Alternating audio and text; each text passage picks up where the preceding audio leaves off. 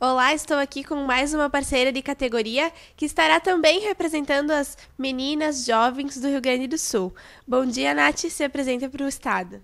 Bom, minhas saudações tradicionalistas. Eu sou a Natália Rodrigues, terceira prenda juvenil do Rio Grande do Sul. Venho da primeira região tradicionalista, da minha querida cidade de Guaíba e do CTG Darcy Fagundes. E com esse título, o que mudou na tua vida e o que tu esperas que ainda mude durante o ano?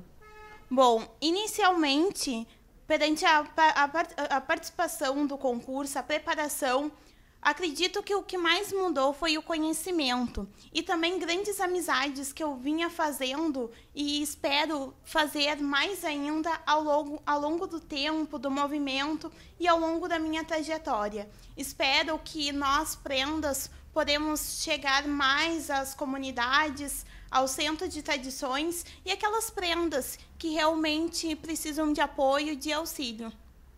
E depois de maio, quando nós entregarmos a nossa faixa, passarmos essa missão adiante. Quais são os seus objetivos? Bom, os meus objetivos são de continuar no movimento, não digo ainda como prenda adulta, mas auxiliando no departamento cultural, departamento jovem e buscando o conhecimento de todas as prendas, procurar ir nos eventos, pois acredito que para nós participarmos, a juventude tem que participar dos eventos, não só dependendo de cargos ou de títulos. E quais são as tuas ideias inovadoras para este ano? Acredito que é isso.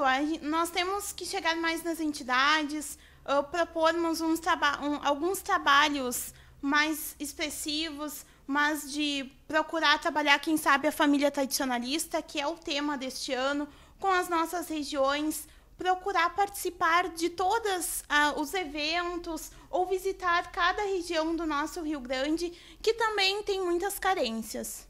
E a TV Tradição, o que ela pode fazer para nos auxiliar nesse ano como prendas na divulgação dos nossos projetos e enfim? Acredito que a TV Tradição deve continuar com a base que está, divulgando os eventos, levando esse tradicionalismo às pessoas que não têm acesso muitas vezes de participar nos eventos e também levando o acesso a várias pessoas do mundo afora, do nosso Brasil e de todos os países. Então era isso, Natália. Muito obrigada pela sua participação aqui nas entrevistas com a TV Tradição.